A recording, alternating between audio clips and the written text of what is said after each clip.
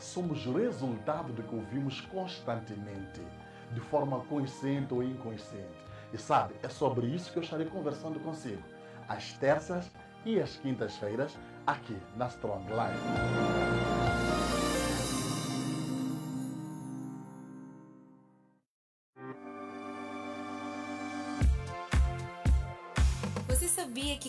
Aqui no salão de cabeleireiro e boutique visual você pode economizar tempo? Pois é, marca conosco pedicure, manicure, make-up, tranças, penteados, personalização, simulação de próteses e muito mais. Dispomos também de acessórios, roupas e calçados para todo tipo de ocasião claro, e sem deixar de lado o conforto e o bom gosto. Estamos localizados no Jardim da Machava, próximo ao estádio da Machava. Contacte-nos através do 84 87 25 24 183. Salão Visual, onde reside a simplicidade e o bom gosto.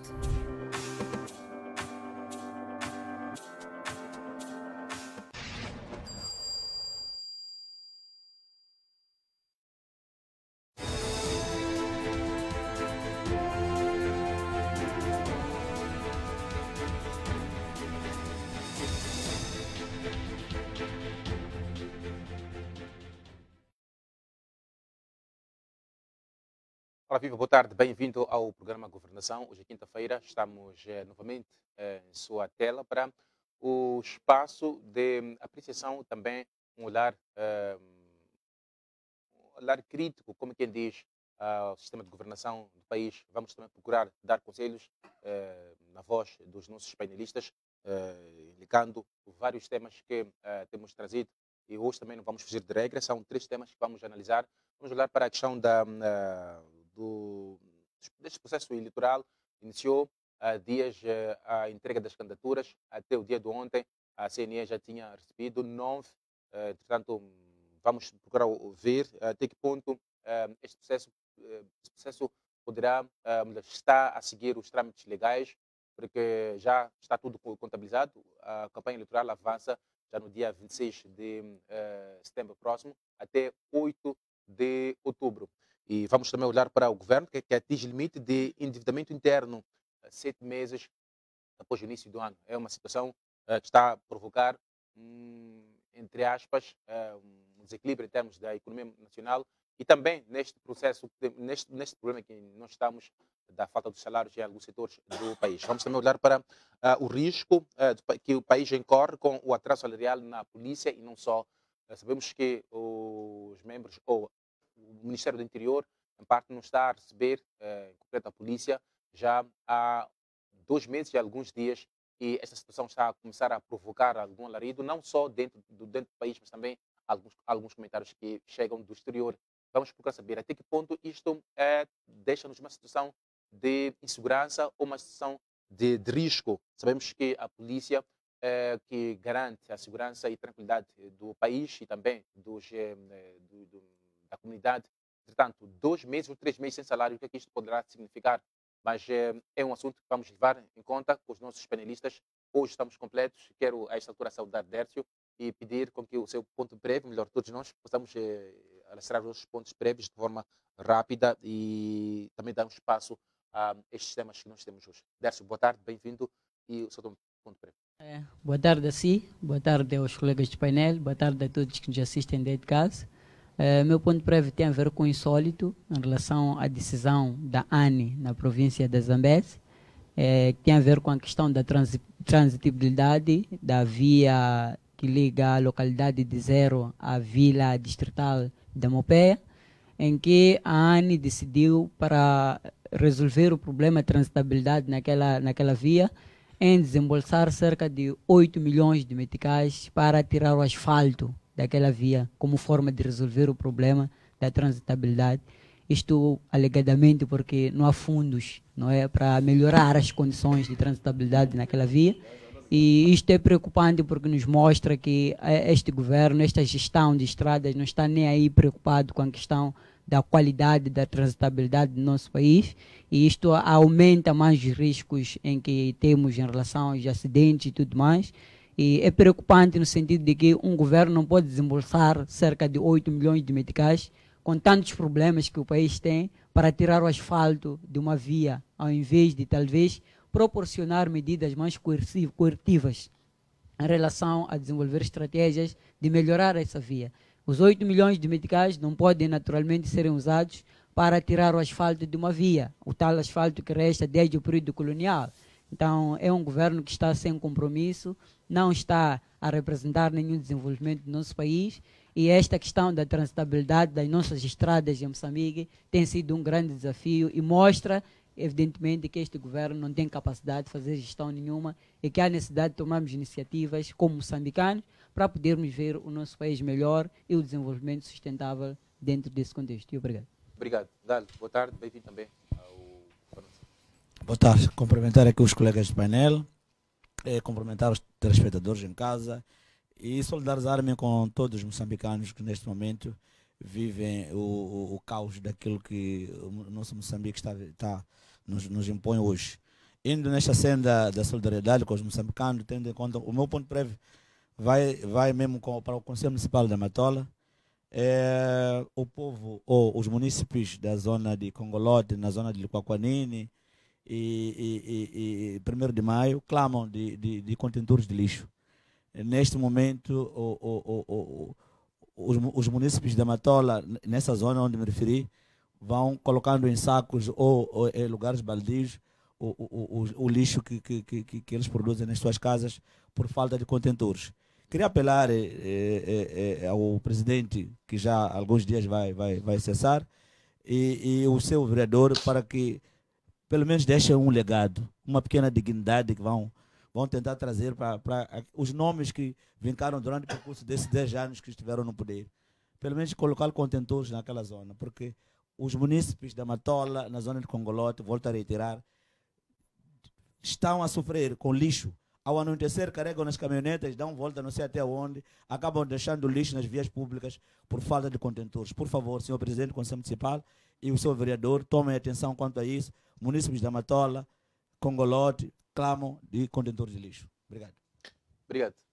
Engenheiro, boa tarde também. Boa tarde, telespectadores. Boa tarde uh, uh, aos colegas do painel, assim também.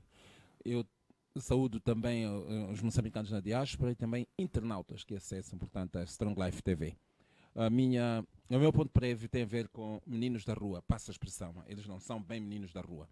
Eu quero falar, uh, portanto, isto é, é dirigido ao, ao, ao, município de Maputo, uh, portanto, tem estado ali em quase todas as ruas, principalmente nos cruzamentos e trocamentos da cidade, alguns meninos de menor idade, portanto, uh, limparem vidros para-brisas das viaturas. Em algum desses locais, eles têm assumido, às vezes, alguma atitude agressiva. Primeiro, eles aproximam-se das viaturas, sem autorização do, do portanto, do, do da viatura, eles limpam, como se fosse uma atividade forçosa, ou fosse forçada, aliás, que assim eh, o façam e depois, no fim, naturalmente, eles esperam ter alguma projeta. Quando não acontece, não recebem projeta, então eles têm assumido, assumido atitudes um pouco uh, violentas, algo violenta. Uh, uh, já em programas anteriores falamos sobre isto. E por outro lado também existem alguns, alguns moços, portanto, alguns menores, portanto, jovens menores, que têm estado um pouco por toda parte onde há estacionamento. Eles simulam, simulam ajudar a estacionar, Reparem que uh, antes, antes uh, esses moços não existiam. Eu percebo que eles aparecem devido à carestia de vida, uh, dificuldades, portanto, socioeconómicas que o país está a sofrer, portanto, isto é reflexo disso aí, assim. Mas eu queria apelar ao governo municipal no sentido de regular esta atividade e, e porque isto pode um dia, portanto, uh, redundar isto em, em, em, violência, porque de facto alguns cidadãos têm, está, têm sido molestados por, não são todos, por alguns miúdos que assumem às vezes algumas atitudes agressivas. Portanto, este era apenas um recado aí para o nosso uh, governo municipal. Muito obrigado. Obrigado. Doutor Mochang também é o seu momento para ponto prévio. Bem-vindo. Muito obrigado. Primeiro, cumprimentar os colegas do painel, ao povo moçambicano, a todos aqueles que nos escutam, nossos internautas e a nossa região.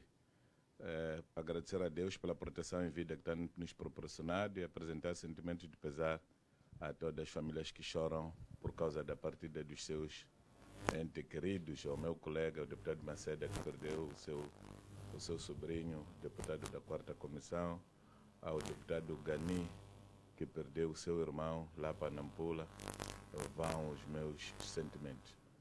É, indo concretamente aos meus pontos prévios, um deles é o Conselho Nacional realizado antes de ontem pelo Partido Renamo, um momento muito bonito, excelente, onde Sua Excelência o Presidente apresentou os candidatos do Partido Renamo, e isto coroado porque ontem, eh, depois da homologação dessas listas, as listas entraram no, no, no, na Comissão Nacional de Eleições. Então, estão de parabéns todos os candidatos e não apenas os cabeças de lista. Todos os candidatos estão nas listas do Partido Renamo.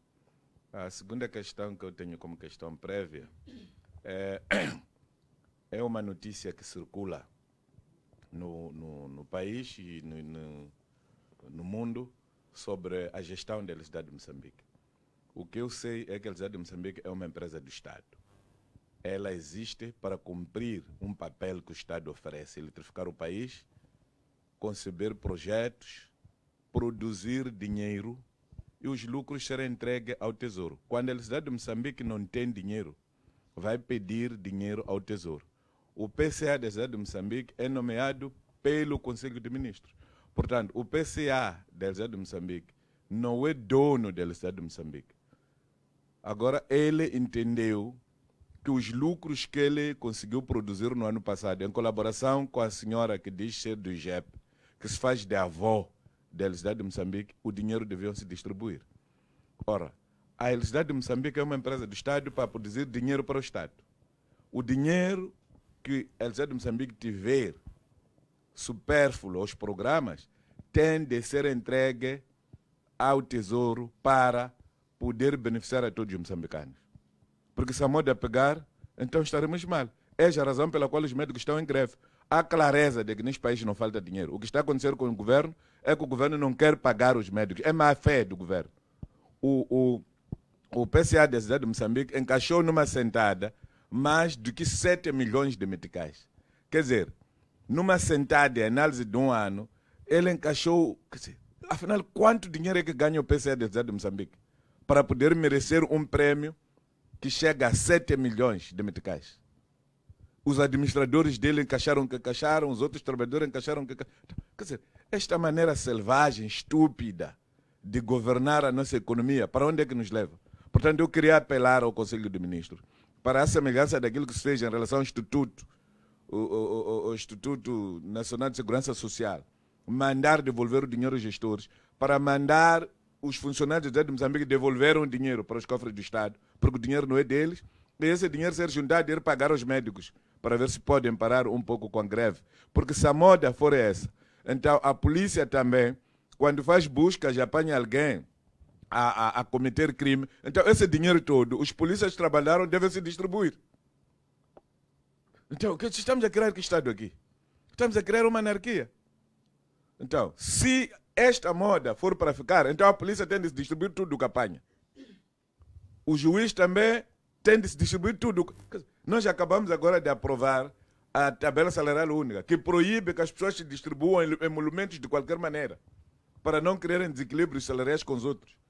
E alguém, em nome da IGEP, em nome de sei lá que, vai pegar dinheiro da cidade de Moçambique e anda distribuir às pessoas. A cidade de Moçambique é uma empresa nossa. E esse dinheiro tem de ir ao Tesouro para todos podermos nos beneficiar. Muito obrigado. Muito obrigado. São pontos prévios. Eh, também eh, espelhamos esses pontos prévios como eh, temas eleitos da semana dos nossos painelistas. Vamos, neste momento, olharmos para os temas eh, de hoje. Analisemos, neste momento, o processo a caminho das eleições. Ontem, eh, alguns partidos, com destaque para os partidos com sede na Assembleia da República, foram depositar os seus, suas ideias, ou melhor, suas as suas candidaturas. junto da CNE a Frelimo foi no período da manhã, depois também assistimos no período da tarde MDM ao fazer, depois Renamo. Mas há uma uh, visão aqui que uh, vai aparecendo, para além dessa deposição, os partidos em algum momento vão revelando-se naquilo que eh, era a ideia até neste processo. Eu quero começar com o Tiago Galo, porque eh, o MDM foi o partido que disse ontem que depositou ontem a sua candidatura porque esperava com que a Renamo dissesse alguma coisa depois daquele dois, da, da, daqueles dois encontros que aconteceram em Maputo. Um foi na sede da, da Renamo e depois disso o outro foi na sede da, do MDM. E a, a mandatária chegou a dizer que ficaram à espera, ou melhor, o MDM ficou à espera da Renamo para que formassem alguma coligação, mas isso não aconteceu. Falou da Renamo e depois de, de alguns outros partidos que não pronunciou-se. Por que, que um, esta situação chega hoje e por que, que as, as questões foram, melhor, falharam? Bom, uh, Parece que esta era, era, era a bom, indicação. uh, olhando, o olhando MDM não queria entrar sozinho nesta luta. antes de entrar na sua pergunta, eh, olhando para aquilo que são os cenários da política nacional no país, eh, é percepção do MDM de que todos juntos podemos fazer alguma coisa. Em abril, quando no âmbito do Conselho Nacional que se fez para desenhar eh, o perfil e, e, e estratégias e o próprio manifesto eleitoral que vai nortear essas eleições autárquicas, o MDM aprovou essa questão de coligação. E este aprovar, que legitimou a comissão política, deixou-se aberto para que os partidos, em especial a Renamo, pudessem pronunciar neste processo de estarmos abertos para uma coligação. Se formos a ver, eh, tivemos os dois encontros dos dois líderes, não é? Mas que, de fato, o MDM sempre vincou que está aberto para receber qualquer força política que tenha, em especial, uma expressão clara para podermos ombrear com o inimigo comum. Nós sabemos que é o inimigo comum.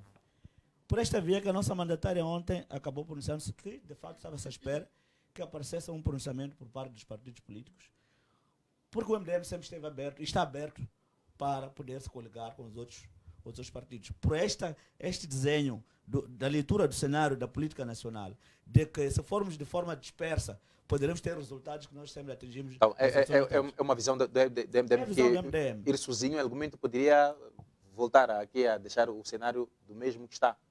Bom, é assim, eu acho que não é ele sozinho que está a deixar o cenário como está. Mas se convida os seus colegas para lhe apoiar, ou os seus vizinhos para lhe apoiar na sua machamba, e ninguém vem, o que é que vai acontecer? Cada um vai se achando sozinho, vai labrando sozinho. E vai atingir o limite ou a linha que quer atingir, de acordo com a força que vai, vai, vai, vai embrear. Então, é neste âmbito que o MDM também tomou essa decisão de olha, estamos abertos, mas ninguém nos aparece, então eh, não temos outra ideia do que irmos. Vamos à, à guerra, vamos ombrear com os outros, da- de acordo com a nossa força que nós ostentamos. É por aí. Muito obrigado. Dércio, eh, vamos contigo. Como é que olha para este cenário, ehm, apesar de, de, de, de- destes, destes detalhes que vão aparecendo, mas já em algum momento parece que estamos a tentar ganhar eh, tempo e espaço e legalidade naquilo que era a confusão que tínhamos quando iniciou processo de recenseamento eleitoral. Agora estamos nessa questão da deposição da- da- da- das candidaturas. Depois disso, vamos para a preparação da campanha. Como é que avalia e como é que está o cenário, na sua visão? Bom, eu penso que os partidos políticos estão a fazer o seu trabalho dentro do tempo e já começaram a depositar aquilo que são as suas candidaturas e naturalmente que vai se ter um período da, da Comissão Nacional de Eleições de avaliar as candidaturas, legitimar e em relação aos problemas possíveis que possam surgir, eh, contactar-se os partidos políticos para que possam não é, regularizar alguns aspectos relacionados com, com, com essas candidaturas. Uma das questões até chaves tem está relacionado com a questão da, da, do, do, dos suplentes, não é? que deve ter um número mínimo de suplentes, por exemplo, os partidos políticos a apresentar, e deve ser, se não me engano, no número de três, mínimo, de suplentes devem ser apresentados. E, naturalmente, que os partidos que não apresentarem este número mínimo poderão, naturalmente, terem as suas candidaturas chumbadas, que são algumas questões que a Comissão Nacional de Eleições, naquelas reuniões que organizava com os partidos políticos, sempre vincava em ta- e relação... também é um ponto que foi chamado a atenção, Sim, na questão é- da, da, da inscrição. É preciso, é preciso nós termos esses aspectos todos regularizados e os partidos políticos penso que estão a trabalhar nesse sentido e há possibilidade ou mesmo há uma efetividade em relação à apresentação dessas candidaturas. Creio que os partidos estão preparados, já organizaram-se da melhor forma para que não tenham nenhuma lacuna em relação à preparação desses processos e, sobretudo, a validação das suas candidaturas. Apesar de atualmente estarmos a registrar um debate sobre eh, possível não candidatura de um membro da oposição, por causa de questões políticas que nós todos nós conhecemos, que é um debate que também aparece num momento em que talvez seja muito suspeito. Nós convidamos a convidamos a ficar à vontade. Pode, não, eu, eu estou muito à vontade. O que eu, o que eu por exemplo, quero dizer é, é que olhando para o cenário, por exemplo, a caminho das eleições, eh, tem sido de, de, de, grande destaque não é a figura do Venâncio Mondlane, tem sido um grande debate sobre a validação da candidatura de Venâncio Mondlane como candidato à presidência do município de Maputo. E muitas coisas temos visto no, nos jornais e, e nas televisões relacionado com a questão das acusações, não é? Estão sendo desencadeadas para com esta figura. Provavelmente, eu vi uma entrevista do próprio Venâncio Mondlane, provavelmente para impedi-lo, não é, de avançar com a sua candidatura. Quer que ele pode voltar a incorrer o mesmo processo que incorreu? No, no, em 2018. Né? Então, então, são aspectos que, tecnicamente, são aspectos que não podíamos estar a tratar agora. É preciso vermos que há, há, um, há um jogo aqui político por parte do governo da Frelimo que está a desencadear para que algumas pessoas não possam avançar nas suas candidaturas. Que isso é, é uma ação de má fé, porque tiveram muito tempo, não é, para desencadear, por exemplo, esses processos crimes e por que agora que estamos já próximo às eleições. Quer dizer, é um debate olhando para o cenário geral daquilo que está acontecendo em relação à competição e ao ombreamento em relação a essas eleições. Mas, no geral, penso que os partidos políticos estão, estão a se preparar, estão preparados, têm tudo regularizado para que possam ir da melhor forma. Em relação a essas questões de, de, de coligação, que, que fazia aqui esta pergunta, eh, tenho uma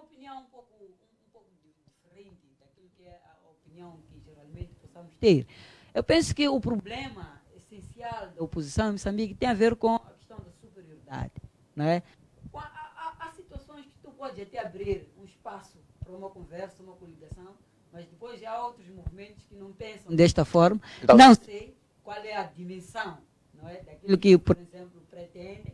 A Renamo, por exemplo, é uma das dimensões que não se pronunciou a esta abertura do MDM. A MDM estava à espera da Renamo pronunciar-se porque abriu esse espaço a Renamo, naturalmente, não entendeu que devia não é, entrar em contato com o MDE, naturalmente, porque tem motivos não prefiro aqui avançar, não sou da, da Renamo, mas cada um tem legitimidade de avançar com quem quer, e se está assim, é preciso irmos todos juntos, não é? E irmos ombrear, que é para, naturalmente, vermos nossas posições é, na, na, claras. Na, na, naquilo que é, que é uh, uma análise uh, feita por si, há ou não percepção daquilo que é a vantagem e a importância de uma coligação? Eu, eu penso que até a vantagem existe, mas a questão da, da, uma das questões muito chaves em relação a esta, esta questão da coligação tem a ver com as lideranças.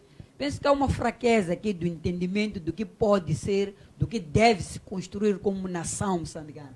Olha, nós não estamos a lutar de forma individual, nós não estamos a lutar para a nova democracia, não estamos a lutar pela MDM, não estamos a lutar pela NAM, nós estamos a lutar pelo país. E na altura em que nós todos, como oposição, termos esta percepção de que precisamos criar um Estado da nação e precisamos criar uma mudança em Moçambique e que o bem comum ser colocado logo à dianteira na primeira, nós vamos avançar com muito êxito. E vamos naturalmente vencer este que é o nosso opositor bastante forte.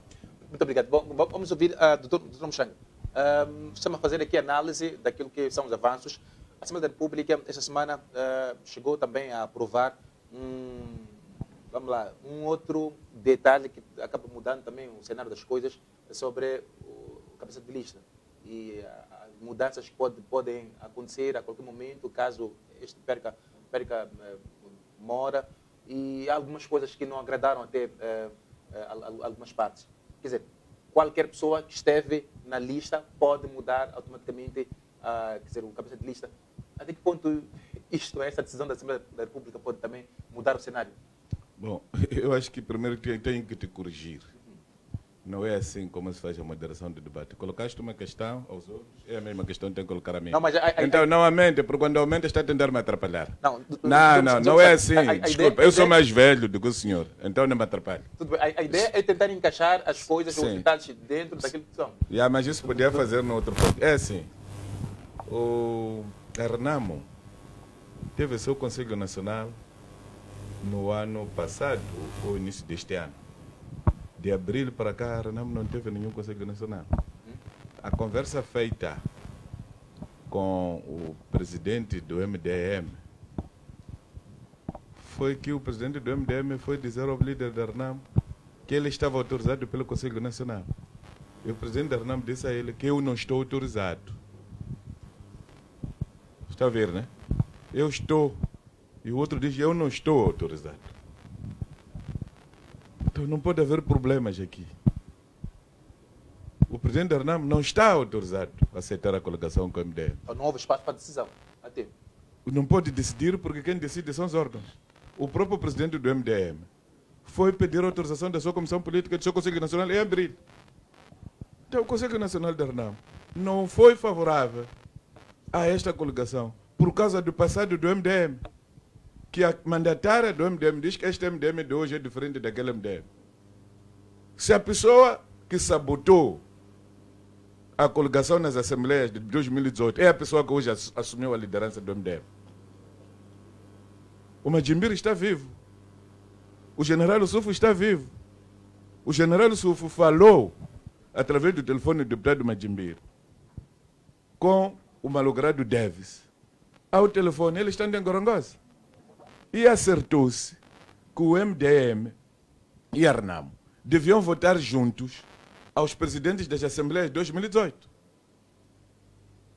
E este presidente do MDM de hoje é quem desfez esse, essa, essa fração. Pensava que a política ia terminar em 2018. A Rosária Mboa tem uma música que canta. Quando você sobe, não se iluda, tudo que voa, come embaixo. Quando a Renam teve iniciativa, o atual presidente do MDM responsabilizou-se em sabotar essa iniciativa. Agora, o presidente da RNAM, que ele pensa aqui, é tapado, é quem devia aceitar ânimo leve. Isso é uma aberração. Olha, os bons vizinhos, quando você se ausenta da tua casa, independente do tempo, não é oportunidade para eu ficar a dormir na tua cama com tua esposa. Então, o que o MDM fez foi pior que isso. Pelo menos na Matola, onde eu sou cabeça de lista. Essa questão, a Renamo não podia ter se pronunciado a tempo só para deixar o MDM. Eu, eu estou a dizer uma coisa. O presidente da Renamo só fez Conselho Nacional antes de ontem. A outra questão, eu conversei com o Runguane por causa da coligação. O Runguane veio ter comigo em 2018. E vale a pena dizer isto, para algumas pessoas tirarem equívocos que têm na cabeça. Eu perguntei ao Ronguano qual seria o mecanismo da coligação. Ele disse que ele era experiente, o Ronguano. Ia ser o cabeça de lista. Todos os números ímpares ficariam para o MDM, os números pares ficariam para a RNAM.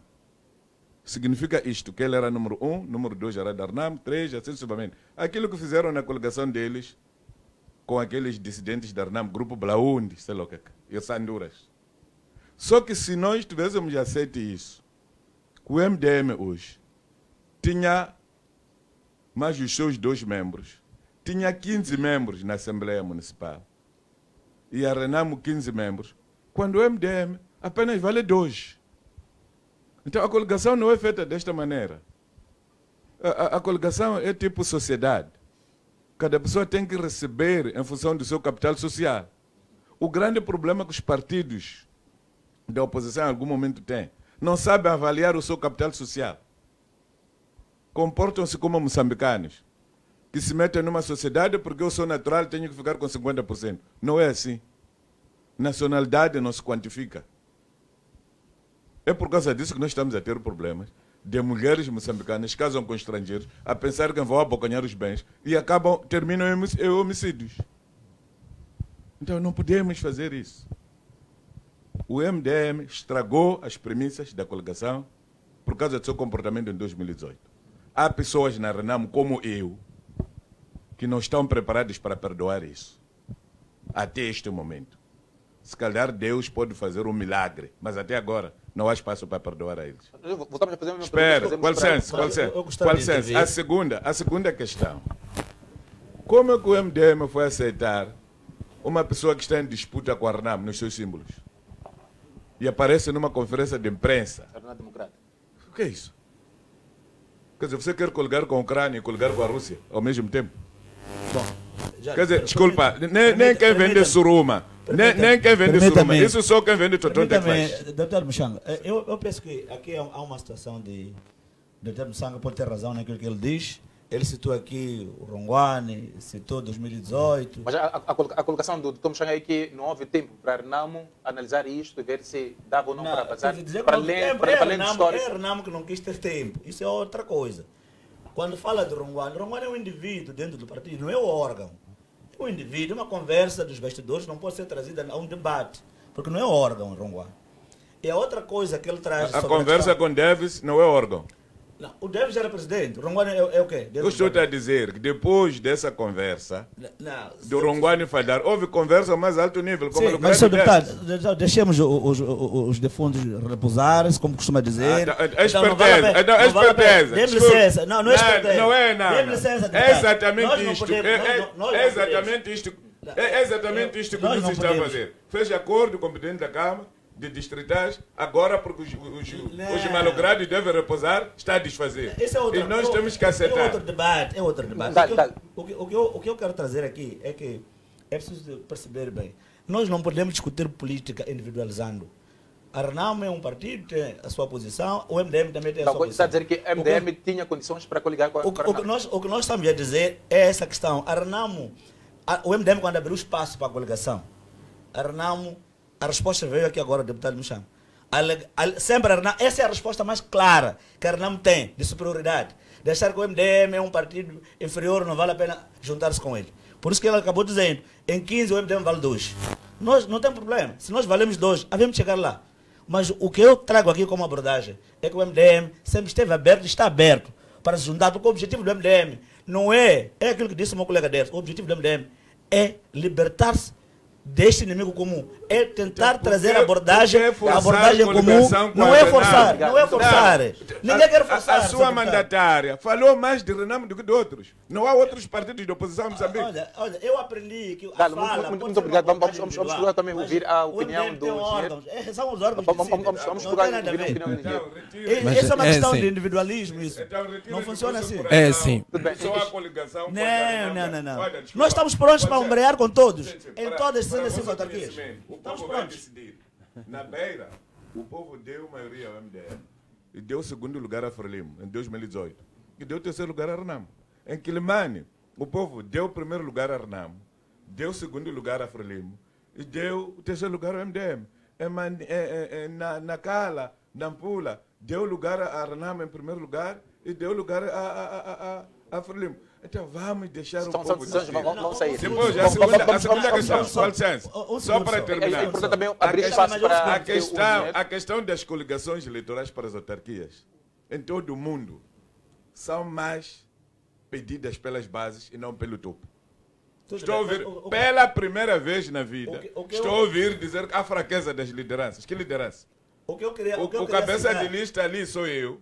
O presidente do partido querendo uma coligação tem de sentar com a base que me elegeu como cabeça de lista. Agora, nas presidenciais e legislativas, o assunto pode ser outro. Mas até agora, os partidos que têm órgãos respeitam os seus órgãos de base. Não há imposição. Muito obrigado. Por isso, a está errada. Vamos- Um vamos- só, vamos- um ouvir a opini- opinião do- é o engenheiro aqui engenheiro. deve estar já a, a zombar de nós quando são dois partidos da oposição que querem de fato libertar-se destas amarras que nós estamos a falar do país e estamos aqui a ombrear-se de coisas, penso eu que coisas Bom, eu- eu- eu- eu acho que é- é- mim- é uma- é uma resposta- É assim.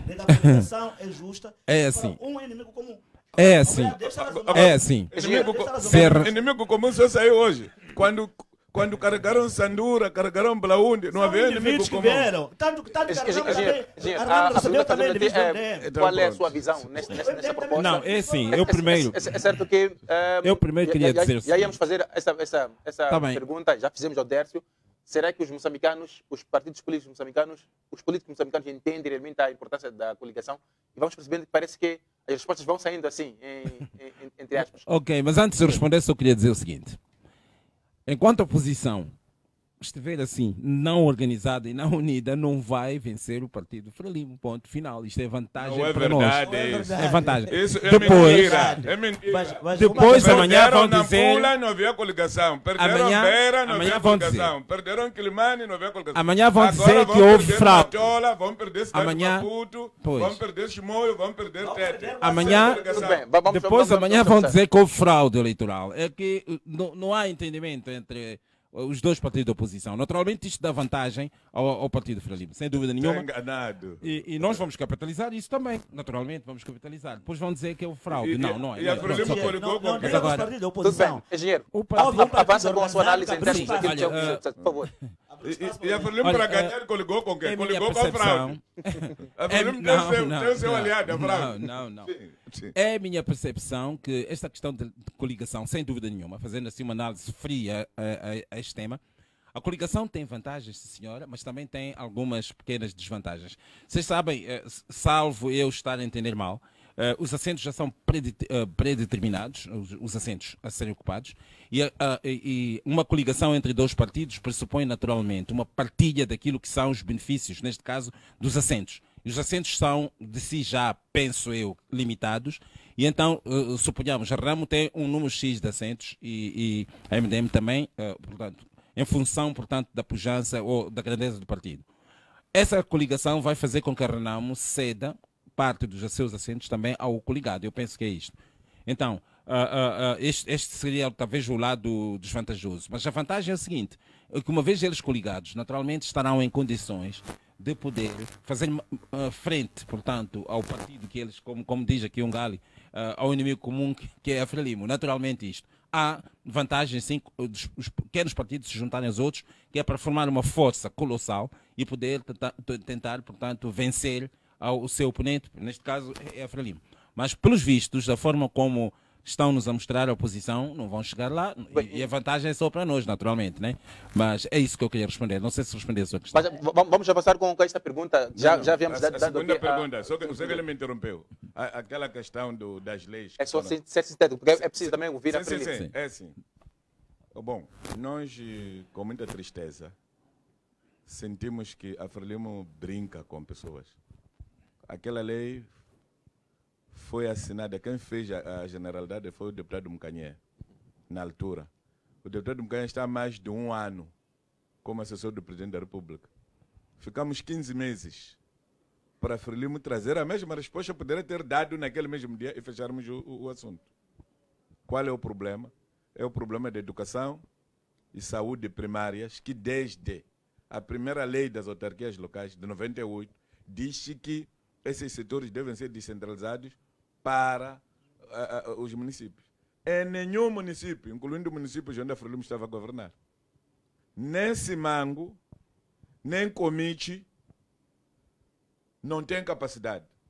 Mas veja uma coisa interessante.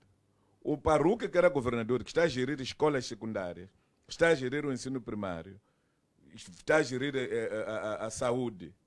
Agora, se ele ficar presidente do município, já não terá capacidade. A mesma coisa vai acontecer com o governador de Nampula. Isso é, é ser distraído, é não ser consequente. Até é estupidez, a, a- verdadeira palavra, é estupidez. Então, a pior coisa nem foi essa. Foi esta da regra de, de, de substituição. Ora, a regra de substituição em qualquer eleição tem de obedecer o critério e o respeito pela lista que é votada. Porque as pessoas não votam apenas o símbolo. Querem saber quem é. Agora, se não for hoje, até sábado, as listas estarão coladas lá na CNE. Para os eleitores irem consultar, verificar com cabeça, engale, se um gale se der lugar, vai o Grácio, depois do Grácio vem o João, depois do João vai o Fulano. Não ir buscar qualquer um na lista. Não há isso. Isso é proibido, isso desvirtua o sentido do voto direto, período secreto do cidadão eleitor. O cidadão eleitor não é o partido. O cidadão eleitor não é a bancada. O substituto do presidente do órgão, tipo município, do governador da província, tem de ser uma pessoa sufragado pelo eleitor. O eleitor tem que ir a saber que na ausência daquele vai falar. A Frelimo está a alegar motivos de feitiçaria. Porque um camarada deles queria, feitiçou um camarada em. Quer dizer, as pessoas já, já vão parar de morrer porque senão foram feitiçadas. Essa é a tal história que eu já ouvi de cá um dirigente que anda aqui, que quando te pega a mão, você no dia seguinte está morto. E dizem que já matou algumas pessoas. Se ele falha, te pegar na mão, pega-te nas costas, faz isto. Quando você sai daí, está morto. Ora, eu, eu não acredito muito nisto, se calhar porque eu sou cristão. Ainda que essas coisas existam, temos que conviver com elas. Fazem parte de nós. Obrigado. Va- Vamos, vamos ouvir o próprio eh, Partido de Frelimo. Esta decisão, eh, com que bases? Será que é realmente o que o, que o Dr. Mchanga estava a dizer? eh, questões de feitiçaria ou nem por isso? A ideia é entender a lógica. eh, a lógica disso. Não, olha, eu só queria dizer o seguinte, não, essa questão de feitiçaria, não, eu penso que, eu não sei, não ouvi, não ouvi alguém da Frelimo ter dito isso, e se disse naturalmente não é, não é, não é, nós não podemos basear em questões de, de tradição e de, e de, de- e- e sub- eh, superstição. Ah, não devemos, não devemos de forma nenhuma coisa, porque essas coisas só existem na cabeça de quem acredita em tais coisas. Eu penso que as pessoas devem estar livres desse tipo de, de- de pensamentos, né? Agora, ah, falando do lado de legislação, eu não tenho muito domínio sobre essa questão, mas quer-me parecer que o que o senhor deputado Machanga falou, ele é, é- é legislador, é, é- é deputado, penso que é, é mais parecido com aquilo que ser verdade do que, do é, que é, é eu, questão, eu poderia é questão elaborar. da, da lógica. Pois, o que, é uma que questão de o que lógica, passa a acontecer é que qualquer eh, figura que está na lista pode Pois. substituir eh, o cabeça de lista na situação de, de morte. Qualquer figura que está na lista ou aquilo eu desse uma ordem. Antigamente, antigamente a questão era obedecer, obedecer a, a ordem. Já sabia-se que se porventura a pessoa X, que é número 1, desaparecer ou morrer, a pessoa 2 poderia fechar. Mas agora parece que a, a coisa ficou universal. alterada. pela, pela notícia que, que, que pude ver também, dá, dá a entender que qualquer indivíduo pode substituir ou pode substituir ao, ao, ao- candidato. É realmente a- isso? Sim, pelo que eu percebi, pela leitura que fiz também, deu a perceber assim. Agora, em termos de, de, de clareza, eu penso que não pode ser assim. Pois eu penso que como Não estava antes estava assim, melhor. De qualquer Penso. forma. O indivíduo que, que, por exemplo, se a lista, se, se o município da cidade de Maputo tem, por exemplo, 45 assentos, não é? Não podemos naturalmente levarmos, porque o, o- a lista ela está enumerada, está a seguir uma ordem lógica. E naturalmente que a ordem lógica não é o indivíduo que simplesmente coloca as pessoas já, você vai estar aqui, você vai estar aqui. Você já está aqui. As pessoas ali, há uma eleição, há uma É, é, supliente na base daquilo na que base foi... da eleição, Da eleição. estruturação do partido. Então, não podemos naturalmente ter alguém que é, por exemplo, um suplente, não é? Passar para o candidato principal na lista. Eu penso que Não, por exemplo- A questão não é. A questão é. A lista da. Vamos tratar números claros. Matola tem 66 assentos. Maputo tem 65. Maracuã tem 40. Os partidos estão a concorrer. A lista que tiver o maior número de votos ganha. Só que a lista, por exemplo, que tiver o maior número de votos tem 19 assentos. Vamos pegar o exemplo de Maracuã. Tem 19 assentos. A outra lista tem 27 assentos e a outra tem 4. Passam quatro partidos. Quem fica presidente do município? É o presidente da lista com 19 assentos. É lógica, porque ele tem maior número de, de votos. Tá. Em casos de incapacidade, quem lhe substitui? É o número 2 daquela lista do partido ganhador. Isso tem que ficar claro enquanto estivermos a ser votados. Na ausência do número 2, é o número 3, assim sucessivamente. Quando alguém, isto é tipo crianças quando nasce. Você nasceu o primeiro filho. O primeiro filho, por qualquer coisa, morre. Quem é o seu primeiro? Naquele tempo da, da- da expressão portuguesa, o varão da família. O varão é o primeiro homem. Então, na ausência do mais velho, porque desapareceu, quem seguiu o número 2? Na ausência desse número 2, quem seguiu o número 3? Assim sucessivamente. A Frelimo está a dizer que não. Varão pode ser qualquer um. Hum. Quer dizer, quer levar aquele sistema que o, o Sobuza fez na Suazilândia, de recusar os filhos mais velhos, ir buscar uma cocetiva, que nem era filho, filho da primeira esposa. Aquilo lá na monarquia funciona. Mas aqui, na democracia, a lógica não é essa. O partido até tem uma fórmula própria. O partido pode fazer duas coisas: dar oportunidade ao candidato de escolher quem tem que ser o seu número dois. A semelhança do que fazem os americanos. No sistema americano, você está se a candidatar, candidata-se com seu vice-presidente. Eu vou, quem é seu vice-presidente? É este. Ele escolhe- vai, quem é seu vice-presidente? É. Para, para garantir a tal, que, a tal confiança. É o que fez Magufuli, Magufuli no, na Tanzânia. Foi com, com a senhora, morreu Magufuli, ficou a senhora. Aconteceu também no Malau.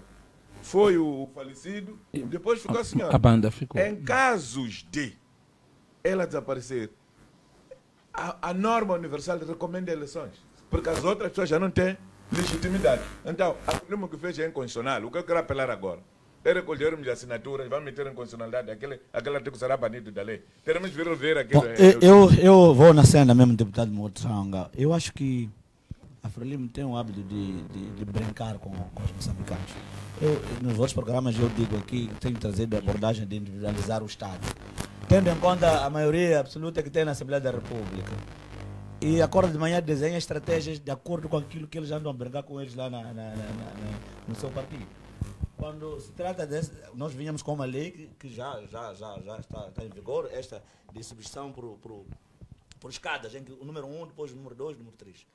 E quando entendem mudar hoje, é a percepção aqui de que há tendência de, de uma coisa que, estranha entre eles. Se eles usam os Nhamuquachanes para chegar a- ao poder e depois tem que eliminar o outro, não sei o quê, é o problema deles. O grande o- é que não pode estar a brincar com as pessoas. Nós assistimos agora governadores que depois passam para a cabeça de lista. Não sei se é buscar aquele indivíduo porque tem uma robustez para que depois ele concorra e por sua vez o governo vai tomar a decisão de exonerar, depois colocar o número deles que eles acham e querem impor para que todos os moçambicanos façam a mesma coisa. Na, para o governador tem escolta policial que pensam que vão voltar a usar Não. para fazer a fraude. Só que desta vez, Não, a, é- a é aqui- é a aqui Frelimo está a onde- dever polícias. Eu sei que os polícias não vão colaborar, porque os polícias estão feridos. Acho que esse, esse ponto vamos tratar. Seria estúpido o polícia que for apoiar a Frelimo depois de ter ficado três meses sem vencimento. Muito obrigado. Va- Vamos, vamos, vamos encerrar esse assunto. Vamos olhar para uma outra né, questão que está ah, a fomentar o país. Eh, o governo atinge o limite de endividamento ah, interno sete meses antes, melhor, sete meses ah, depois de- de- de- de- de- de- de- desta questão. E ainda temos um período, agora estamos a falar do número de 99,8%, aquele que já foi avançado e já não há espaço, já não há ah, percentagem nenhuma para a abertura de um outro endividamento se houver necessidade. Derso, ah, esta questão, parece que este foi um ano, um ano ímpar, de alguma forma, e parece que todas as decisões, todas as questões estão a parecer, estão a correr muito longe de, nós. É, é uma questão insólita mesmo. É menos de, de um ano ou na metade do ano nós já atingimos o, o nível extremo de endividamento. Mas, eh, no meu ponto de vista, o mais preocupante neste atingir o endividamento não tem talvez não está talvez relacionado com não estarmos muito endividados, mas sim com o resultado daquilo que foi o endividamento que nós temos até agora. É preciso fazermos uma comparação, uma analogia. Nós estamos endividados até o pescoço, já atingimos o limite. Mas o que temos de ponto de vista prático daquilo que é o resultado desta dívida que nós temos aqui em Moçambique? Que este deve ser o debate. Se nós estivéssemos, por exemplo, endividados, no sentido de termos algo palpável que podemos mostrar, nós temos uma dívida X, porque temos isto, mas aquilo, mas aquilo, são coisas palpáveis que nós podemos ver. Não é como resultado desta dívida. Nós não temos absolutamente nada. Estamos endividados a fazer o quê? O que é que estamos a produzir? Para que não estamos a receber este dinheiro? Para que está a ser usado o dinheiro? Este deve ser o debate. Se nós tivéssemos a, ser, a trazer esta dívida, termos essa tamanha dívida com resultados, com estradas, com educação, com qualidade, nós talvez não estaríamos a discutir tanto a questão de estarmos eh, neste nível da dívida, porque estaríamos a discutir, por exemplo, que, ok, estamos endividados, mas o dinheiro foi usado para o Sistema Nacional da Saúde, foi usado para a educação, foi usado para a construção da habitação, foi usado para estradas e por aí em diante. Mas, de ponto de vista prático, nós não temos nenhum resultado produto deste endividamento. Quer dizer, o país não está endividado, no meu ponto de vista. Quem está endividado são figuras, são pessoas que devemos mencionar. São pessoas que devemos mencionar, que fazem esta dívida em nome do Estado, Ou depois isto acontece no sentido de eles fazem dívida de forma particular e depois fazem em nome do Estado. Está a dizer que há matéria para uma explicação sobre essa situação. Não, isto aí devia até ser levado a extremos superiores. É preciso fazer-se uma investigação criminosa do Estado moçambicano ou das pessoas que geram o Estado moçambicano. Porque aquelas pessoas que geram o Estado moçambicano devem justificar a natureza do endividamento que nós temos e os resultados da dívida que nós temos hoje. E se eles não conseguirem justificar este endividamento e os resultados dele devem ser levados à barra da justiça. Devem responder a este processo. Porque no final são os moçambicanos que devem pagar essa dívida. Os moçambicanos vão pagar uma dívida que desconhecem, que não usufruem daquilo que é o resultado desta dívida. Esses indivíduos devem ser levados à barra da justiça e explicarem de forma clara o que é que estão a fazer com o dinheiro para chegarmos a esse nível de endividamento com tamanha pobreza que o Moçambique registra até hoje. É uma situação incompreensível. São 99,8%, uh, segundo uh, os dados, já não há espaço realmente para uh, o país requerer qualquer uh, endividamento, melhor, a passar nossas instâncias em menos de sete meses. Ainda temos algum espaço pela frente. Bom, já, acho que é preciso primeiro trazer um exemplo aqui. Quer abrir negócio, venda de galinhas ou de, de frangos. Vai à banca, pede 30 mil meticais e a partir do momento que vai buscar os tais frangos, começas. Eh, o primeiro vai petiscar o primeiro frango. O segundo vais metendo a sua venda, vais a uma barraca. Como é que vais conseguir resolver? Quando chega a altura de pagares, começar a fazer a, a, a, a primeira prestação do banco, já não tem dinheiro, tem que pedir ao Derso para lhe emprestar outro dinheiro. E depois, quando chega para amortecer aquela conta, vai pedir. É assim como anda o nosso Estado. Uma dívida, de acordo com o jornal do País, uma dívida sustentável devia mais ou menos corresponder a 30% do nosso PIB. Neste momento, Moçambique está a 220% do nosso PIB. Estás a imaginar essa diferença? Quando nós temos tecnocratas que se dizem tecnocratas dentro do, do, do, do governo, dentro deste poder que a Frelimo tem, que foi legitimado com, com, com, com o povo, tem esta qualidade de nos demonstrar quando é, é, é, os tecnocratas trazem, os estudiosos trazem a abordagem de que uma dívida sustentável devia corresponder a 30% do nosso PIB. E neste momento Moçambique atinge 220%. Qual é a resposta que nós temos? Temos que trazer, por exemplo, vários fatores. A FUNIP vai trazer vários fatores, obviamente. Fatores de calamidade, Covid-19, essas coisas todas. Mas o grande impasse nisto é que nós não estamos a arrecadar receitas. E essas receitas, por que nós não estamos a arrecadar? Porque são as receitas são colhidas para os bolsos de indivíduos. Este aqui é o grande impasse. Portanto, é que não estamos a saber usar a dívida. Não estamos a saber usar a dívida. Nós não podemos eh, hipotecar uma dívida para outra. Estou a dever um Muxanga, vou precisar de dinheiro, eh, dinheiro ao engenheiro para pagar o Muxanga. Praticamente prevalece a dívida comigo. Esse Estado parece andar a, a este reboque. Este é um grande problema que devemos, que, que eu acho que este governo, como disse o meu colega, se alguém tivesse o poder, de fato, de colocar este governo na barra da justiça, para procurar saber o que, é que está a acontecer à volta disto. Por que, é que nós temos que endividar o Estado a esse nível? E o que é que nós fazemos com essa dívida? Se o, o, o Estado está tão endividado assim, o que é que nós investimos como projeto? Quer dizer, buscar dívida para pagar salários. 90% desse dinheiro, das receitas feitas, é para pagar salário. É para pagar correspondências internas. Então, estamos a fazer o quê?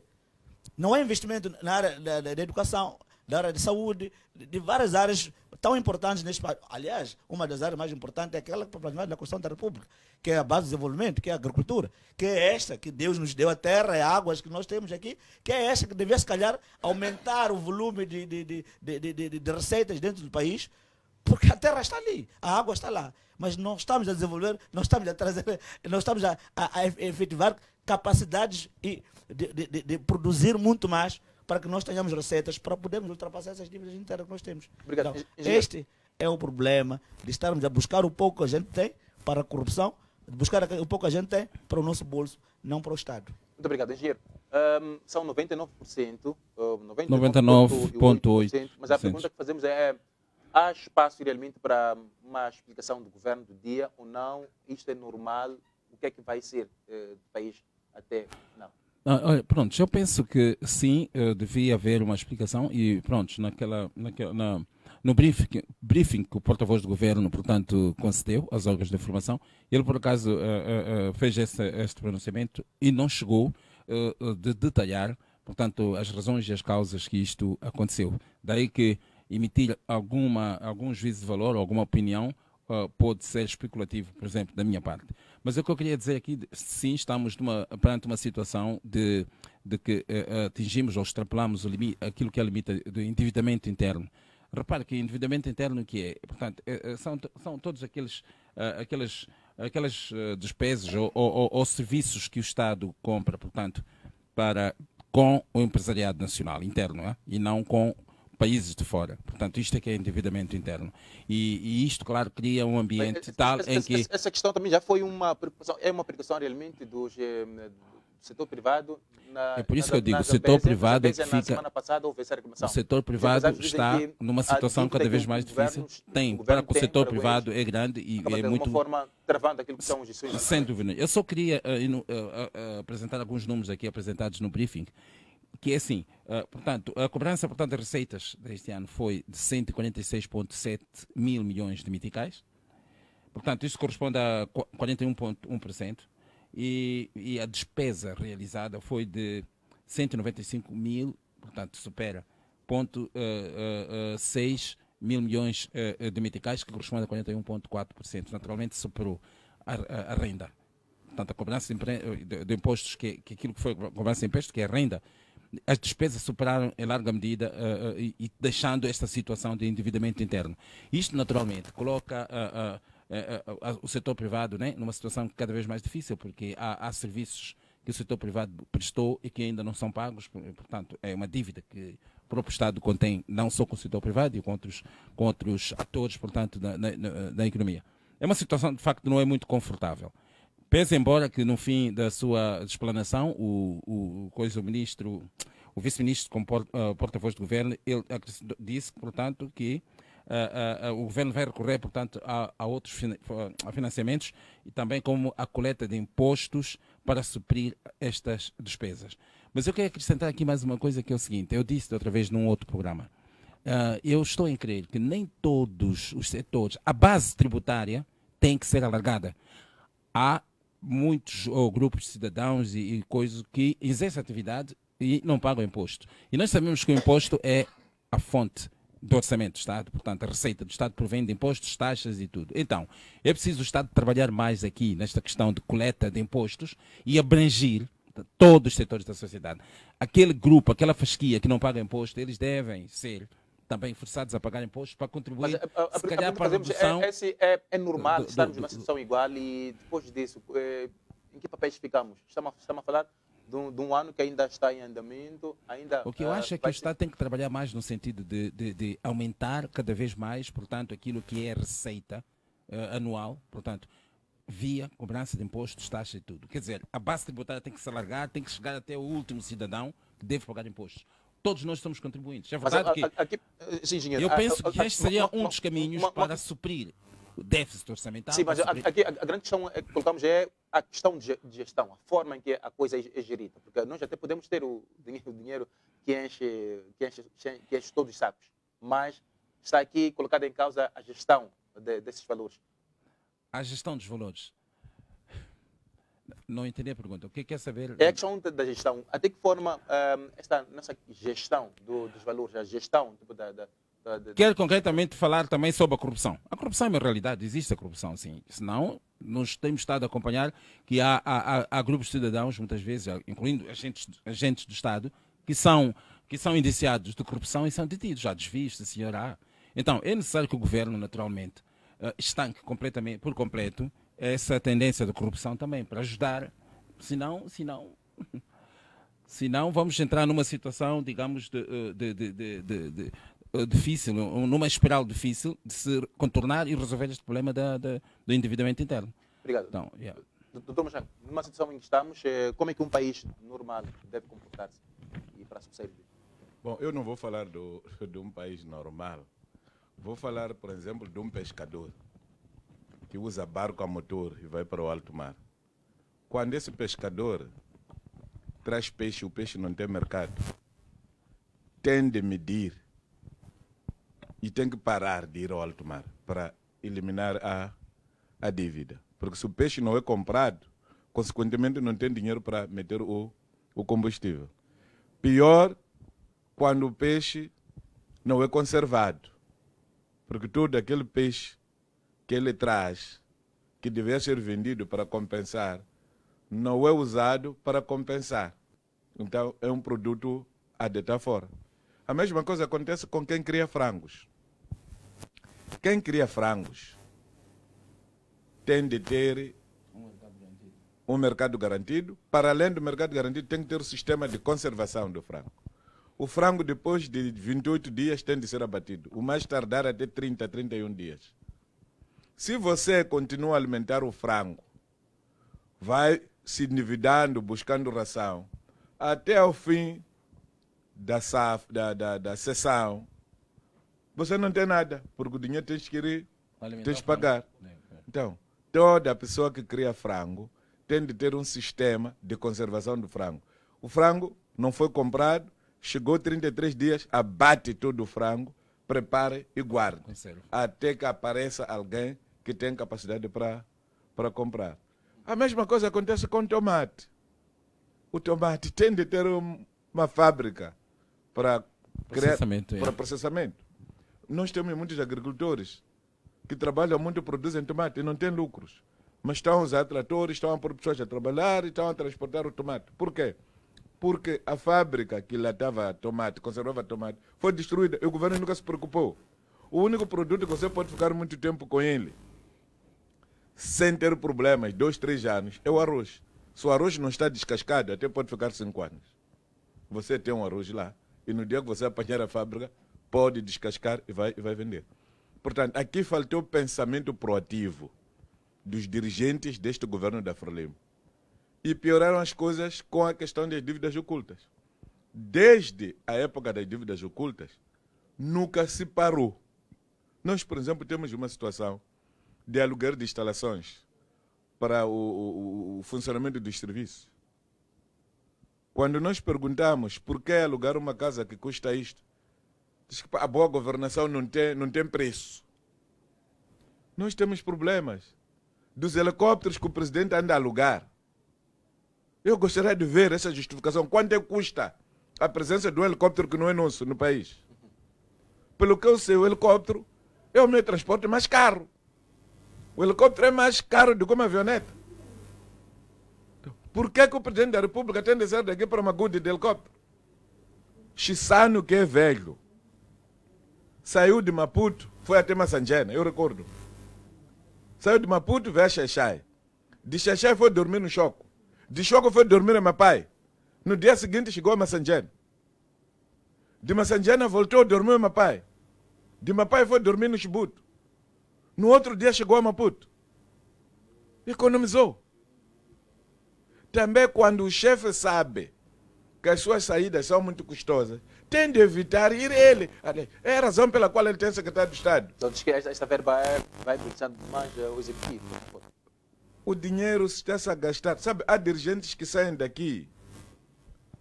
O que o secretário de Estado do Ensino Técnico Profissional está a fazer? Sair de Maputo para andar a distribuir certificados em todo o país. O que é aquilo? Quanto custa a viagem do secretário de Estado? Porque o secretário de Estado não embalou aqueles certificados, entregar a DHL. No mesmo dia, você manda aquilo hoje, no domingo, todos os secretários de Estado a nível de província receberam o certificado. Manda chamar todos os administradores do distrito, que mensalmente estão lá vêm carregar o certificado e vão distribuir. Porque o administrador também é representante do chefe do Estado. O chefe do posto é representante do chefe do Estado. O chefe da localidade é representante do chefe do Estado. Por que, que tudo tem de ser a mesma pessoa a fazer? É uma forma primitiva de acumulação de capitais. Que é para aqueles que não estão a perceber ficarem assim a, a, a, a dormir. Então, o primeiro grande problema que nós temos é a presidência da República. O segundo maior problema que nós temos é o Conselho de Ministros. O terceiro maior problema que nós temos é o Partido Frelimo. Agora, por exemplo, amanhã inventaram um jantar aí, onde as pessoas entram a bilhete.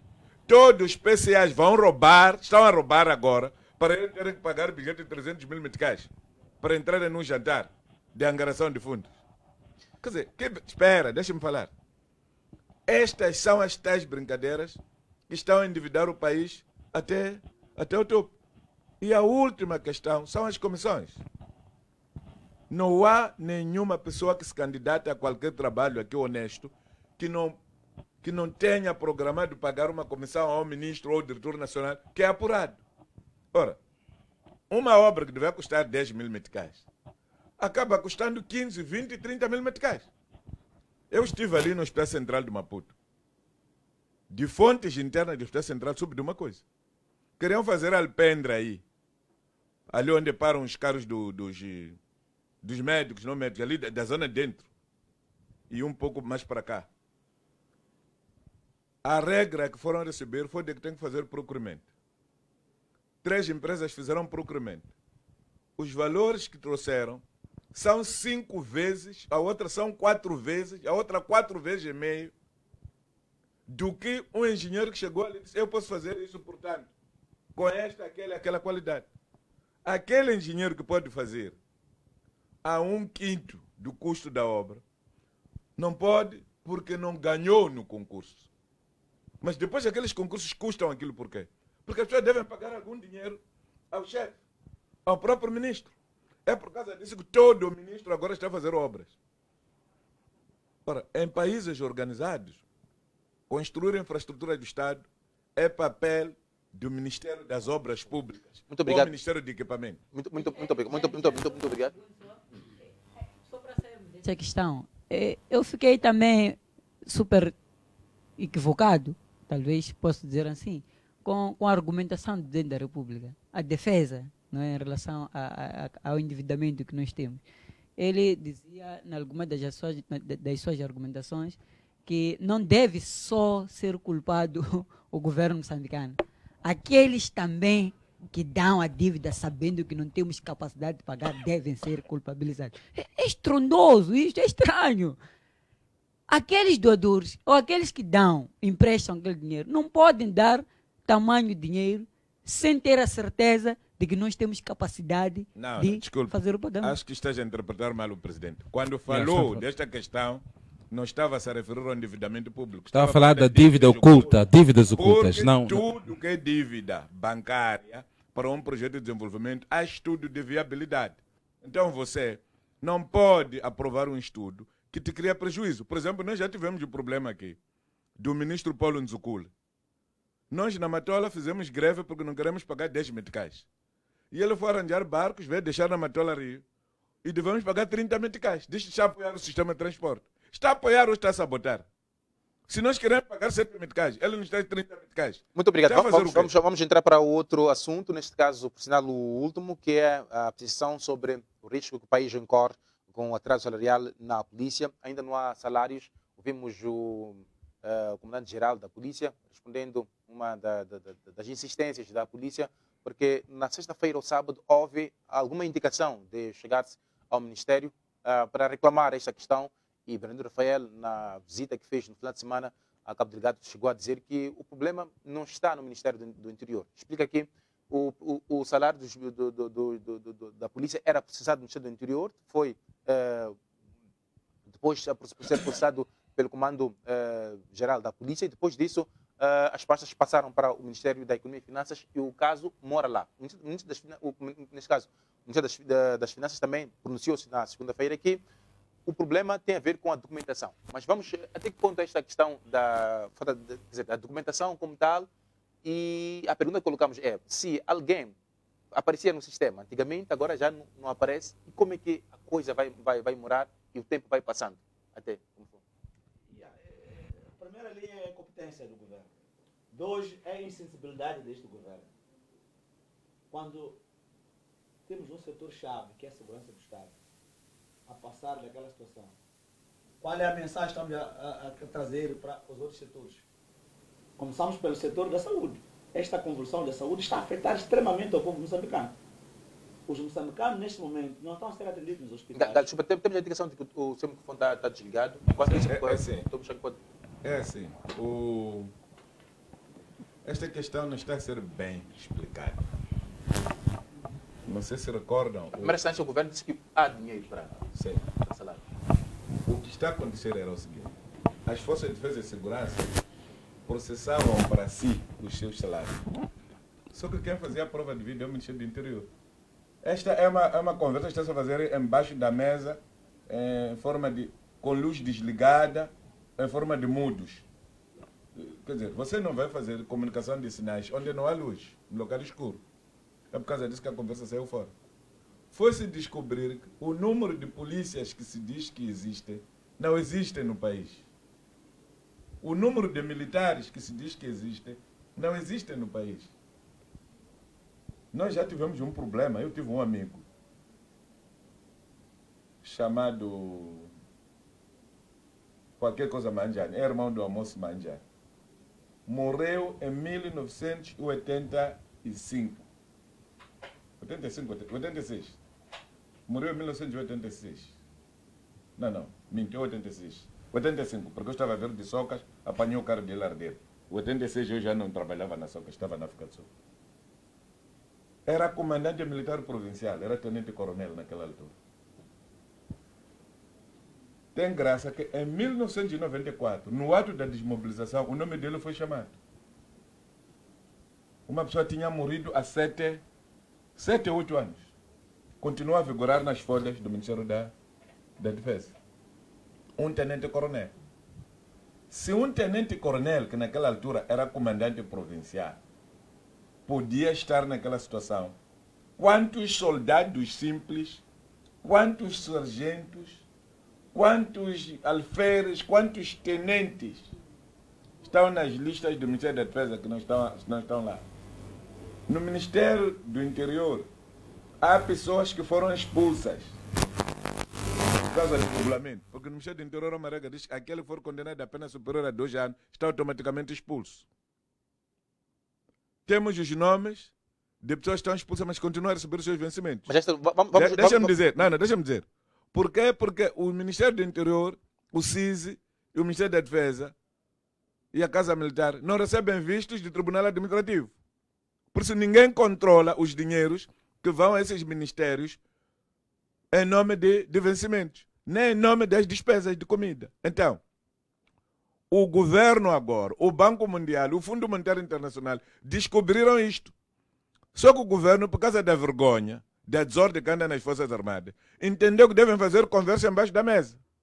É quando se diz todas as folhas devem passar para o CIDCIF. É militar, é civil, isso- as folhas devem ser elaboradas no mesmo sítio. Então isto está a dar isto. Mas isto até pode ser sabotagem. No sentido de quê? De dar a entender que o Ministério das Finanças, dirigido por Max Tonella, é, o pior, é a pior coisa que existe no país. Porque estavam habituados àquele tempo de Maleane. Quer dizer, o porco estava a dormir. Quando Maleane era ministro da- da- das Finanças, nos, nos outros tempos, do Manuel Changa, o porco estava a dormir. Avoiangwa, kumbali etlele. Então agora o porco está a tentar dar gesto de que está a acordar. E isso aí está a ferir algumas pessoas. Por isso que há uma responsabilização direta ao Ministério do, da, da, da- da- das Finanças. Mas, efetivamente, não é possível alguém que recebia, porque o vencimento era transferido. Todos recebiam via transferência. Tinha lá a NUIT, tinha a NIB, e agora o tal NIB está a falhar, o NUIT já não é concordante. Mudaram quantos NUITs? Obrigado. Bom, vamos, vamos, vamos, vamos, já temos aqui a explicação. Vamos olhar para ah, os riscos que corremos com essa situação. Não, eu já, já havia pronunciado que os riscos são, são enormes. E, e nós estamos é, é, é, perante pessoas armadas que estão na- nas vias públicas e são pessoas que esperam de alguma coisa do Estado e não têm. E, e- e essas pessoas poderão, talvez, neste momento, correr a salvação ao povo pacato. Porque nós já víamos reclamando há dias que a polícia até fazendo sua parte negativa dentro da sociedade. Neste momento que não tem um salário, temos que olhar nessa perspectiva de que é um caos e, e nós não podemos eh, eh, deixar de dizer o que está a acontecer dentro da, da, da sociedade. Porque se o governo continuar a prevalecer com, esses, com, com, com a falta de responsabilidade que está a cometer neste momento, porque para mim é falta de responsabilidade. É preciso olhar para setores-chave do Estado. Estamos a falar de pessoas que saem das suas casas, primeiro as condições da própria polícia. Como é como é quais são as condições que a polícia tem? É uma polícia que não tem residência, é uma polícia que não tem meios de transporte adequados, é uma polícia que não tem, não tem aquelas condições que deviam deixar a polícia tranquila dentro do seu, do seu, do seu campo de serviço. Mas neste momento encontramos uma polícia também que entra num outro pacote, que é o pacote de salário, que não tem. Então, este é um problema de um Estado, de políticas desorganizadas, de, de, de, de, um partido que já está a demonstrar claramente a, a, a, sua fase de decadência. Porque quando nós estamos a fazer decadência, acontece essas voltas que nós estamos a fazer aqui. Penso eu que é pela primeira vez que acontece neste país, é que a polícia fica dois, três meses sem, sem salário. E isto é um problema grave e teremos consequências nefastas no futuro se nós não conseguirmos. Aliás, voltando a apelar à própria polícia, que é um sinal que Deus está lhes a dar a esses polícias. Sinal esse de que o que eles vinham fazendo ontem, de apoiar a Frelimo nestes escrutínios que nós vamos aproximar, é preciso ter a consciência. Muito bem, muito, muito, muito, muito, muito obrigado. Nós devemos polícia, de fato, apoiar, apoiar este partido. É porque esta polícia alguma coisa fumou. Muito obrigado. Um galo está a fazer campanha, não faça campanha, ainda não é. Engenheiro, vamos, vamos já para. Campanha, estamos a trazer a abordagem. A. O engenheiro sabe disso. são, vários riscos que o país Eh, pode incorrer com isto. Vamos falar de, eh, de, uma, de, uma, de uma ala muito importante em termos de segurança. Sim, sem dúvida nenhuma. Ah, é, é uma situação muito difícil, uma situação, digamos que. é, bem, inaceitável mesmo que as pessoas fiquem dois meses sem, sem vencimento. O que eu queria aqui dizer, o lado bom aqui dessa questão é que ah, o, o, o comandante-geral da polícia, ele apareceu a se pronunciar. A pior coisa é ninguém não dizer nada e a situação prevalecer sem vencimento. É verdade que o pronunciamento dele não resolve o problema, que o problema, as pessoas querem receber dois meses, não estão a receber, de- devem receber, naturalmente. Ah, eu vou dispensar aquela explicação que deu aqui o Muxanga sobre o que está a acon- a acontecer. Aliás, o comandante-geral, ele, quando esteve-se a pronunciar perante ah, as forças policiais, ele explicou que eles estão agora a resolver alguns problemas, alguns ajustes. Eles ah, fazer, estão a fazer de tal forma em que todos recebam a partir o processamento seja feito só num sítio e não como era feito antes, porque isto está a criar disparidades e criava disparidades. É verdade que antes eh, tarde resolver esse problema é tarde do que nunca. Eh, é verdade que, que ficamos admirados que havia esta situação de haver, eh, se calhar, soldados, vamos dizer assim, eh, eh, elementos fantasmas que recebiam algumas pessoas já mortas, que entretanto constava na folha de salário, mas isso em algum dia o governo tinha que sentar e resolver est- esta situação, porque não é uma situação regular. E a consequência disso, naturalmente, é este atraso que está a acontecer, e segundo no dizer da- do, do comandante-geral, está-se a trabalhar ah, ah, ah, com, com todo afinco, no sentido de regularizar e depois fazer esse processamento num- para todas as forças, portanto, quer militares, os polícias, paramilitares, a partir um sítio que é para deixar de acontecer aquilo que acontecia. Isto é, haver pessoas que já mortas, que recebem, ou outras pessoas que não têm nada a ver com isto. Portanto, um processo de, de reorganização desse processo. Mas- Só que não, mas o não, que eu quero mas- dizer, não pode ser igual o que eu quero dizer é o Desde, desde, é verdade. Não, o que tem de bom é que já apareceu alguém de direito explicar o que está acontecendo. Mas- Antes não, quer dizer, porque não sei se está a ver, fica sem receber e ninguém aparece a dizer nada. Mas eu, eu penso que foi muito. Acha, que- acha que o discurso do comandante-geral Não, problema. compra arroz mesmo? Não, não, eu repito, sim, não, sim. não me interrompa. É, é, O é- discurso do comandante-geral não resolve o problema, mas foi melhor ele, ele aparecer a explicar do que não ele. explicar. Muito- A muito questão, obrigado, muito desculpa, a questão primeiro foi levantada na Assembleia. Não, não, não, não, não adulterem as coisas. A primeira questão do vencimento de polícias foi levantada pela Assembleia da, da República. Depois disso, é quando aparece o, o, o, o, o, comandante-geral da, da polícia. Como quem diz, é para estão-me a tirar tapete. Estão a falar pessoas da oposição sobre a minha força, sei lá o que. Só que o, o gesto do comandante-geral da polícia não é saudável. Porque ele deu a entender que o governo não estava sincronizado. Não pode aparecer o, o, o, o, comandante-geral da polícia acusar o Ministério da- das Finanças de estar a sabotar o processo, porque, lá, porque o Ministério das Finanças tem todos os dados de quanto dinheiro foi roubado dentro do Ministério, quando o Ministério do Interior e o Ministério da Defesa estavam a processar. Seria saudável agora aparecer o Max Tonella a dizer que esse senhor, quando processava, roubou tanto dinheiro. Tem nome do fulano e fulano minuto. Porque o banco de dado, o banco da prova de vida, está com o Ministério da- das Finanças. Então, vamos ter aquela situação que tivemos de. É onde?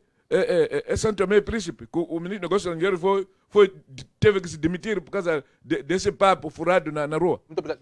É, Eu penso que eu penso que esta questão é, é muito crítica e se tivesse impactos ou consequências para o Estado, seria bom, ou para o governo, seria bom.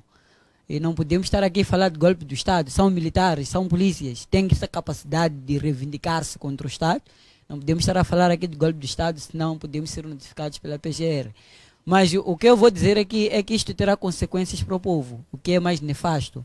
Vamos registrar mais criminalidade, mais polícias se envolverem em crimes, em raptos e o tecido social vai cada vez mais se desestruturando a nível de Moçambique. E essa questão só de não receber salário não, é, não termina aí. Há aqueles que não estão a ter salário. E depois há um outro problema. Há aqueles que estão a ter salário que não era aquele que eles oferem. Aqueles que recebiam, por exemplo, 50 mil, parece ouvir que estão a receber ou receberam 20 mil meticais. Aqueles estavam a receber 5 mil, depois estão a receber 35 mil meticais. Este também é outro problema que mesmo resolvendo, por exemplo, essa questão de salário, vamos ter outra convulsão. Então, é uma questão muito crítica e que no final vai pesar para as cabeças de moçambicanos. É maior criminalidade, atenção, até o crime organizado. É difícil tu identificar um criminoso como polícia, senão ele tem todas as estratégias de cometer os crimes, que é mais ou menos o que pode se viver a partir deste instante e para diante. Muito obrigado. Queremos agradecer uh, desta forma. Estamos, um, estamos assim, dessa forma, o programa e promessa de voltarmos na próxima quinta-feira com mais assuntos. Tchau, tchau.